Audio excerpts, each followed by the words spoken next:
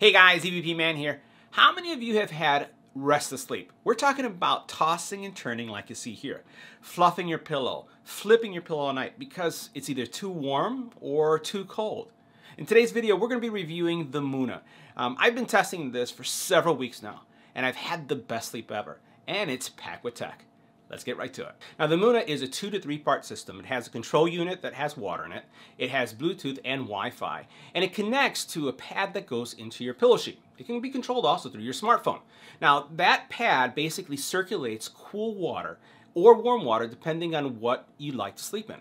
Now, this solution comes with an app, right? It uses a smartphone that can control the temperature so that at night you start with one temperature, in the morning you wake up with another. So it starts like colder, then cold, and all the way up to warm. At least that's my preference. So guys, that concludes our review of the Moona system.